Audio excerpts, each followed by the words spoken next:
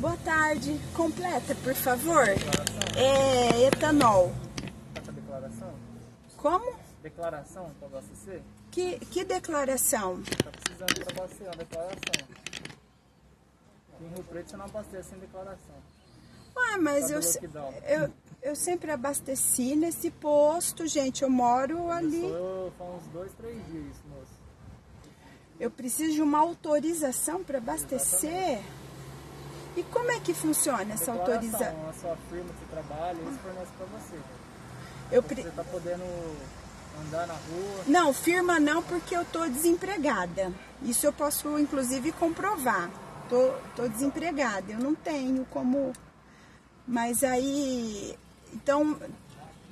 Só que nem eu, cidadão comum, pagadora de impostos. Inclusive, quando eu abasteço, eu já pago muito imposto. Não posso abastecer mais? Tem declaração, senão eu não, não posso abastecer. E, e essa declaração vem o quê? Consta o quê? No- meu nome? Seu carro, nome, a firma que você trabalha, tudo certinho.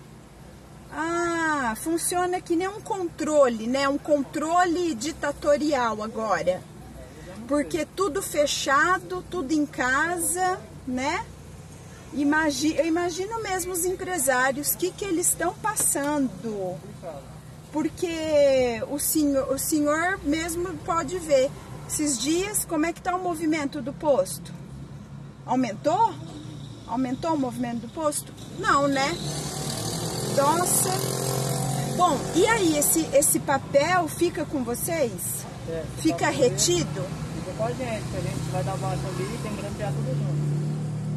Ah. Não, então não tem. Muito obrigada, viu? Bom trabalho, fica com Deus, fé para isso acabar logo, porque não vou compactuar com esse, com esse controle ditatorial, comunista, não vou, né? É. Obrigada então, fica com Deus. É, dentro de São José do Rio Preto, você não abastece se não tiver autorização.